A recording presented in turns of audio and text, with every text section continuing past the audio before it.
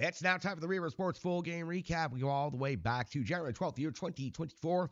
when the Nashville Predators were in Dallas to take on the Stars for the third four regular season meetings. Head coach Andrew Brunette deployed his lines and combinations in the following way.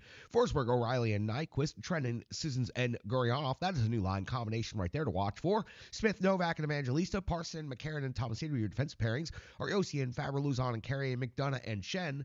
Lankinen gets the start on the first night of back to backs for the Nashville Predators. We get started and we're 149 into the game. It's Lankinen coming with a save on Ryan Suter's first shot on goal of the game for either team. We're at 212 of the first period. Lankinen comes with a save on Lundkvist at the 422 mark of the first period. We found our first penalty of the game. It's Marchment off the box for tripping for the Nashville Predators on the power play. Oettinger back in the lineup comes with a big save on Sissons as he drove to the net trying to make something happen. At 656 of the first period, Lankinen comes with a save on Roope Hintz at 811 of the first. Oettinger comes with a save on Philip Forsberg a lot of play now between the face-off dots for about the next four minutes before the 12-14 mark hits, and we see Oettinger coming with a save on Jeremy Lauzon at the 18-17 mark. Another long stretch of continuous play between the face-off dots. Oettinger comes with a save on Alex Carrier at the 19:05 mark of the first period. Lankinen comes with a save on Bennett 19-14. Lankinen comes with a save on Lindell, and that would allow Dallas to outshoot the Nashville Preds seven to six in the first period in what you would certainly consider a low event period. The Nashville Predators largely outmatched the first two thirds of this period, but did start to get their legs under them in the final five to six minutes. 209 into the second period. Now it's Oettinger coming up with a save on Cole Smith at the 309 mark of the second period. It's Oettinger coming up with a save on Philip Tomasino at 423 of the second. It's Lankinen coming up with a save on Pavelski at 551. Oettinger a save on Dante Fabbro. We're all the way to 924 already in the second period, and it's Oettinger coming up with a save on Ryan McDonagh at 844 of the second period. It's Lankinen coming up with a save on Tyler Seguin at 9:22 of the second period. After lots of back and forth and some fairly low event hockey, it is Lauzon getting the Nashville Predators on the board first in this game with his fourth goal of the season. He took the long shot, followed it up, got to the rebound of the slot area, and cleaned up for his fourth goal, fourth goal of the season, giving the Nashville Predators a 1-0 lead in Dallas. At 11:45 of the second period, it's Oettinger coming up with a save on Tommy Novak. At 12.03 of the second period, it's Cole Smith off the box. Two minutes for tripping. While the Nashville Predators are on the PK, it's going to be Jamie Benn picking up four minutes for high sticking. That's going to create a four on four for a brief time. And that's where the Nashville Predators are capitalizing, picking up their second goal of the game. It's Tommy Novak picking up his seventh of the season. It was off of the rush, and he got a great feed from Gurianov for Tommy Novak breaking through and getting this goal. It was a long time coming. You could tell he let out a roar after this one. This one felt good. Novak seventh puts the Preds up two to nothing in Dallas. Now the Predators, after the four on four would expire, would go on to have a two minute plus power play.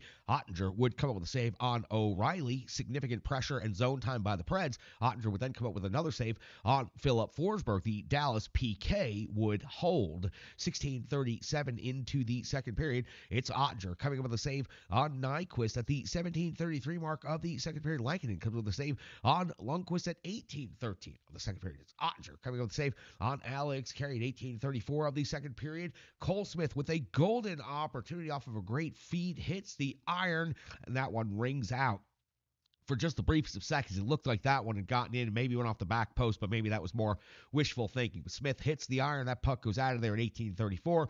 Nothing else happens through the rest of the second period. We hit the intermission. The Predators now have 21 shots on goal at the end of the second period, so they go from 6 to 21, so they generate 15 shots on net in the second. The Dallas Stars, another 7 shots on goal in the second. They go from 7 to 14.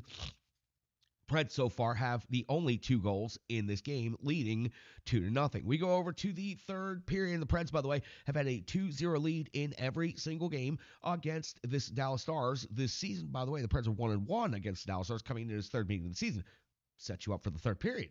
We're 11 seconds into the third period now, and Lankinen is coming up with a save on Pavelski at 109 of the third period. It's Hakanpää coming up with his second goal of the season. By the way, both of those goals are against the Nashville Predators. Perfect setup by Matt Duchene. The Stars were buzzing all around, and it is all not the first minute, but it's only nine seconds after the first minute. A huge momentum building goal for this Dallas Stars team who are accustomed to coming from behind and accustomed to playing from down on the score sheet.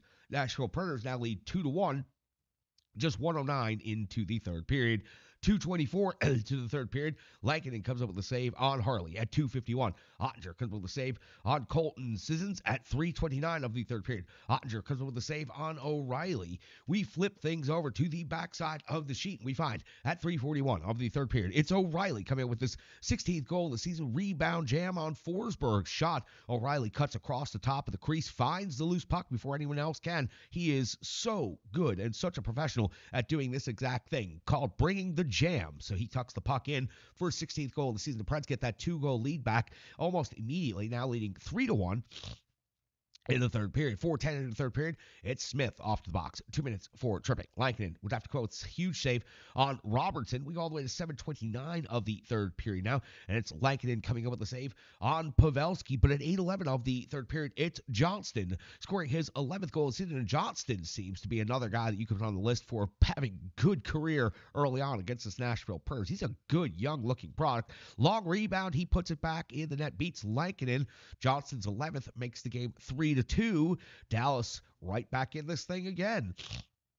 949 of the third period. It's Tyler Seguin off the box. Two minutes for hooking, and that's where Filip Forsberg is going to work with his 22nd goal of the season. The captain, Roman Josi, does all of the work with the fake shot that freezes everyone on the rink. Filip Forsberg wide open, waiting for it on the back post, had time to corral it, stop it, pick his shot, and snipe. Forsberg's 22nd of the season gives the Preds back that two goal lead yet again. They now lead 4 to 2 halfway through the third period. At 11.05 of the third period, it's Oettinger coming up with a save on Luke Evangelista at the 11:40 mark of the third period. It's Oettinger coming up with a save on Gurianov at 12:05 of the third period. It is Filip Forsberg off to the box, two minutes for boarding. Kind of a weird play how this all shook out. Two different Predators took the man into the wall. Forsberg ends up getting called for boarding. The Dallas Stars find themselves on a power play, and that's where Matt Duchene goes to work, scoring his 13th goal of the season, making it a one-goal game yet again. Nashville now leads four to three three in the third period for Matt Duchene. We all know how good he can snipe it. Sharp angle just at the bottom of the face-off circle. He goes ahead and rips that thing into a perfect spot just under the crossbar. Not much you can do about that. Duchene scores the power play goal for the Dallas Stars. Still 4 to 3 in favor of the Nashville Predators. At 13:55 of the third period, Oettinger comes with the save on Filip Forsberg. At 14:33 of the third period, we see Hanley off the box. Two minutes for tripping on Tommy Novak. Novak chipped the puck chased it, and drew this power play for his team. Really good effort here by Tommy Novak. Really smart play as well. Oettinger would come up with a save on Sissons while shorthanded, but the Dallas Stars PK unit would again be strong and hold strong, keeping the Nashville Predators off the board. In 1720 mark, 1721 mark of the third period, we see the empty net scenario with the defensive draw for the defensive zone draw for the Nashville Predators. The Dallas Stars elect to pull a netminder. 1727 is when Nyquist puts the goal into the empty net, his 11th of the season. It was O'Reilly on the face-off win, draws it back to Josi. Josi hits Nyquist high in the zone. Nyquist fires it down the ice, and in just six seconds, the Nashville Predators convert on the empty net to take a five to three lead in this game.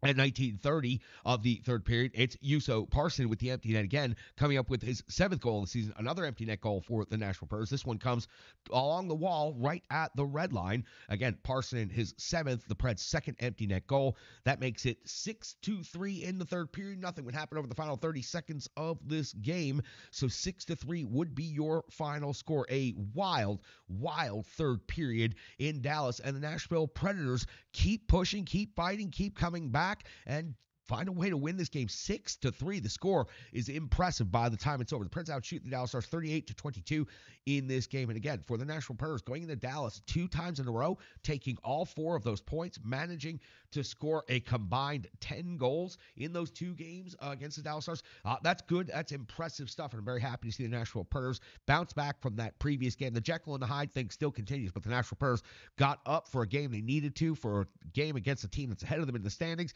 and they are now 2 and one against the Dallas Stars on the season. Again, a really, really good effort to beat the Dallas Stars. And Lankinen goes 2 0 against the Stars in a week's time. That's going to do it for the Rebirth Sports full game recap. We're going to go ahead and clear things up right here. We'll come back. We'll have analysis, box score. We'll close this thing out, and so much more. We got to get you all set. Less than 24 hours till the next game. So you're listening to the Renegades of Puck podcast right here on the Full Press NHL Network.